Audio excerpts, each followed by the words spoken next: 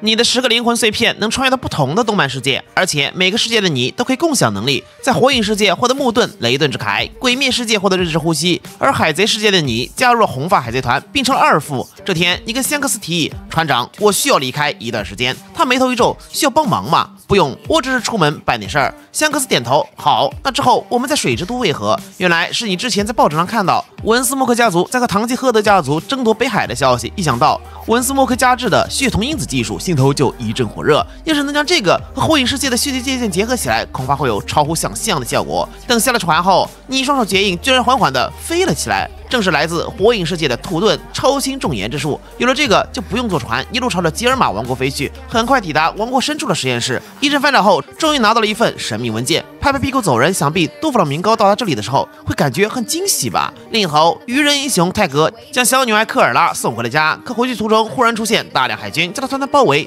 废帅泰格，你这个胆敢放火焚烧圣地的狂徒，今天就是你的忌日。泰格明白过来了，我送奴隶小女孩回家后。他的家人反而把我举报了，用来换取自由吗？恩将仇报。原剧情中正是因为这个事件，泰格身死，这才导致愚人务必仇恨人类。泰格绝望闭上眼，人类居然如此卑劣。可就在海军们开枪的一瞬间，无数树木冲破土地，挡在他面前。与此同时，更多的树木藤蔓破土而出，将所有的海军士兵笼罩。海军统领惶恐不安。这树木，他想起来了，这个能力当初只在一个地方见到过，和红发海贼团对战时，他们船上的二副施展过这个能力，而且一出手就是碾压。泰哥一脸苦笑，这次要不是你出现，我肯定没命了。没想到差点害死我的，居然是我对人类的善意。那些曾经是天龙人奴隶的人，想要得到自由，不是简单消除身上印记就可以的，除非能解决天龙人这个源头问题。我们唯一能做的就是彻底推翻天龙人的统治。为了贯彻这个方针，你们一起来到了白土之岛巴尔迪哥。贺龙一致商量后，你提议将和之国作为新的革命军据点，因为这里特殊的地貌，外人很难攻入，典型的易守难攻。唯一的问题是必须击败已经占据和之国的凯多。龙还有点犹豫。你说说的核心点，那里有武器工厂，买卖方涉及到世界政府、海贼、地下黑暗势力，还有一些大国。如果我们夺下和之国，无疑是对海军的沉重打击。这下龙完全没理由拒绝。另一边，火影世界的你在牵手书签和宇智波斑的婚礼结束后，正着手准备学习仙人模式。众所周知，仙人修行地有三：龙地洞、妙木山、石骨林。虽然不知道得满足什么条件才能进入其中修行，但自己能走后门啊。如今你是牵手书签钦定。的继承人直接来问就是了。某次看到朱坚在修炼时施展了仙人模式，直接举手，老师，我学这个。他笑了，仙人模式啊，这个可不好学。不过对于青传弟子，他是很宠溺的，大大方方讲了修炼过程，和自来也当初的经历大同小异。唯一不同的是，他是在尸骨林修行的，那是阔于仙人的修行地，更擅长治疗。在仙人模式下，这个效果会成倍增加。说话之前，他郑重叮嘱要记住，一旦在尸骨林修行，就不能转投另外两个修行之地。随后拿出通灵卷轴展开，让你在最后一页留下自己的名字，随后施展通灵之术。砰的一下，你们就被逆向通灵到了尸骨林。在仙手柱间的指导下，你与阔于仙人签订了契约，他将你带到一处古刹。从今天开始，你要在这里进行仙人模式的修炼。修行的过程就不多赘述了。修行多日，终于成功领悟了仙人模式，但还不能像仙手柱间那样瞬间进入这个状态，需要在体内调和三种能量的平衡：身体能量、精神能量和自然能量。你去请教柱间，哦，很简单，就这样，然后这样，最后那样。啊！牵手之间挠头大笑。飞剑一直说我不适合当老师来着。我觉得实战更容易让你理解，于是就开启了挨揍模式。虽然教学方式简单暴力，但效果显著。你被揍了三天三夜后，终于学会了如何瞬发仙人模式。与此同时，由于海贼团找到了血统因子技术，你也准备开始收集大同一族留存的血脉，提取需要的血统因子，然后尝试制造六道仙人的血统因子，如此便可完美复刻六道仙人模式。顺便尝试能否从人柱力身上提取出尾兽查克拉，制造十尾查克拉。为了名正言顺收集血脉，你想了个主意，找到飞间老师，我们村子的医疗系统该推动了。于是血库中心顺利成立，一周的时间，将所需要的血液收集完成。千手、宇智波、日向，还有漩涡一族等等血液样本，开始进一步研究，同时制造大量特殊装备。不过这个过程需要大量人力。好在此时。牵手飞剑发明出一门新的忍术，正是多重影分身之术。立马找到老师飞剑学习了多重影分身，还有飞雷神。多重影分身解决人手问题，飞雷神方便你传送、安排妥当一些事物。第一站是雾影村，你弄晕了几个灰叶族人，成功替血液。第二站是云影村，目标金角银角。这会儿这俩货还是个小孩，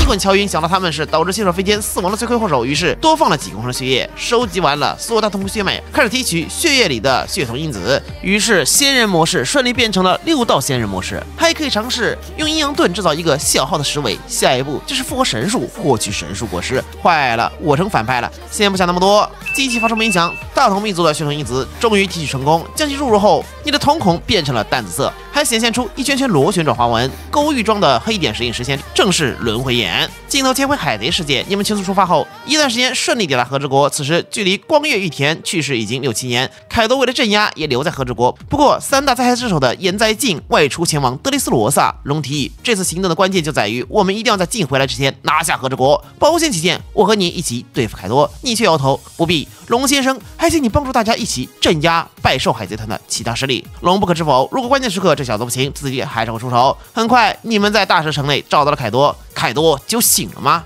你是谁？杀你的人！熄灭！凯多狰狞狂笑，举起八斋戒，狠狠砸过来。狼牙棒上缠绕着黑色闪电，正是雷鸣八卦。你不慌不忙，双手快速结印，尾兽外衣悄然浮现，接着泪断之铠，霸王色缠绕上半身全覆盖。举起左手硬接下狼牙棒，凯多面色一凝，哼，霸王色居然跟我不相上下嘛！而这一瞬间，捏着的机会一拳轰到他腹部，砰的一声，凯多被击飞出去。等你赶到屋外的时候，面前已经是变成龙形态的凯多。这种强度的霸气，不该是无名之辈。你到底是谁？没有回答，反而是拿出一把日轮刀。凯多嘴里逐渐汇聚炽烈的光芒，龙息喷吐蓄力中。可你这是呵呵一笑，眼睛开始变换，层层叠叠的紫色正是轮回眼。很快锁定了他的弱点，那部分正是桃园石泉留下的伤痕附近。眼看龙息半 thân 怒火一同喷出，你继续日轮刀，日之呼吸，接着再转月之呼吸，变成圆之呼吸一之形日月轮转。龙息戛然而止，凯多发出凄厉哀嚎，他向后退，一股莫名的吸力却让他无法动弹。他做梦都想不到，这股吸力是轮回眼的特殊能力之一——万象天引。接着，他看到手持润刀的你，背后日光月光，就像羽翼，不，战机精准落到他身上，凯多变换人形，开始反击。黑色闪电缠绕在八斋戒上，雷霆阵阵，这是他的大招九龙八卦。他咬牙和光月御田的战斗，我没能用上这招，这些年一直有点遗憾。哦，这就是你最后的遗言吗？比我想象的要简短。话音刚落，两人身形同时消失，化作两道黑色闪电撞向对方。经过一番苦战，凯多用出自己的最强招式大德威雷鸣八卦，而你却变了一招圆之呼吸二之形日月同光。日月碾盘环转动，磨灭光辉下笼罩的一切。八斋戒还没打下，就已经在半空解体。凯多全身血肉模糊，青色鳞片被碾得稀碎。最后的最后，他半跪在地，眼中满是不甘，还有释然。太多落败了。接下来收复和之国的剧情没啥好说的，快进到你和龙、泰格他们开会。你提议，现在我们拥有了几乎完美的据点，是时候用主动一点的方式来反抗世界政府了。主动的方式，他们一个到处解放国家，另一个四处破坏天龙人抓捕奴隶的行动，还有比这更激进的方式！你呵呵一笑，从今天开始，我们对海军以及世界政府的人进行悬赏，就像他们一直以来做了那样。众人倒吸一口凉气，数百年来一直都是世界政府悬赏别人，现在居然反过来嘛？没错，悬赏一出，高傲的天龙人会源源不断派人来送死。这里山高皇帝远，而且地形险要，无论是 CP 零还是海军都会被和之国吞下，这就是加速天龙人覆灭的慢性毒药。泰格大笑，小凡，不愧是你啊，居然能想到这种事情。龙也竖起大拇指。与此同时，另一头，竟得到了百兽海贼团遇袭的消息。他第一个怀疑的是白胡子，可白胡子压根没动啊！到底谁还能有这种实力？想了想，主动联系了四皇之一的 Big Bomb 夏洛特零零，准备出发之前，多弗朗明高主动找上门，表示愿意一同前往。其实这货只是想确认真正的结果。如果赢的是百兽海贼团，那就一切照旧；但如果和之国易主了，哼哼，那就得找新的合作伙伴了。很快，和之国到了，进化成的翼龙形态首当其冲。可飞到阁楼顶层的位置之后，他忽然发现那里站着一道人影。凯多老大在哪儿？死了？不可能！我再问你一遍，凯多老大在哪里？你是否摇头？既然我站在这里，死的就一定是凯多。这么简单的道理，还需要我重复几遍呢？不可能！镜的身体开始燃烧，这是露娜利亚族的天赋，用斜裹着火焰的翅膀撞击，而你全身雷光大作，进入雷电之铠的状态。黑衣与手臂碰撞出激烈的火花，镜居然从自己的翅膀上闻到了焦香味儿。咔嚓，骨头裂开的声音响起，镜眼里全都是不可思议。他的身体为什么会硬成这样？被冻物系能力者还要强壮吗？肉体竟然不占优势，干脆放弃翼龙形态，转变成人兽形态。手臂与翅膀融合的情况下，随手一挥就是数道威力惊人的锋刃，可以闪闪出现在他的头顶，一脚狠狠踩在脑门。下来吧你！镜落败后，夏洛特零零知道再这样下去，舰队可能会全体覆灭，果断出手。小家伙，和之国的事情是你和你的同伴搞出来的吗？而你却选择不予回答。施展土遁超轻重岩之术，缓缓飘上天空。与此同时，轮回眼中勾玉浮现，手中做了个奇怪的姿势。大妈本能感到一阵心悸，不对，好像什么不得了的事情要发生了。下一刻，你嘴里轻轻说了一句：“世界に痛みを死んだ天性。” 毁灭性的赤力鹰为中心，朝着斯洛席卷，平静的海面经常是被巨大陨石砸中，猛然凹陷，正是神罗天征，一股看不见的力量，推动波涛层层相叠，仅仅是一击，上百艘海贼船组成的舰队便就此覆灭。夏洛特零零彻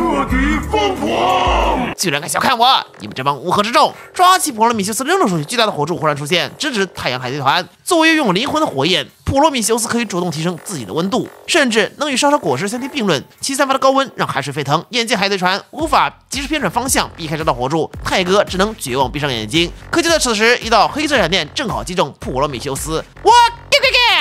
他发出惨叫，定格在空中。你一只手将他抓住，对红魂果实起了兴趣。观察一会儿后，你又把他丢了回去。这家伙在打什么主意呢？夏洛特零零打个冷战。他发现，你看他的眼神就像是在看有趣的玩具。只给你一次机会，输了就永远留下。夏洛特零零直接掏出压箱底的招式：宙斯、普罗米修斯、拿破仑三者的力量合二为一，火焰与雷霆缠绕在剑身上，而你将原之呼吸运转到极致，日光与月光在鼻息间一进一出，一光一样的虚影浮现在身后，身上腾的一下冒出数倍金红色的查克拉以及尾巴虚影，没错，尾兽一形态。还没完，周身逐渐浮现出暗紫色的骨骼虚影，将你保护起来。随后，他们逐渐变成武士模样的人形，三头六臂，背生双翼，此乃须佐能乎。夏洛特零零奋力一斩，明光剑为国，巨型冲击波裹挟着。强烈的雷霆与火焰朝你射来，可须佐能乎的手臂往虚空一抓，数把光剑同时出现，太阳与月亮的力量不断流转，最终合并成一把开天辟地大小的巨剑，一击切下，甚至连整个海面都黯然失色。夏洛特零零试图反抗，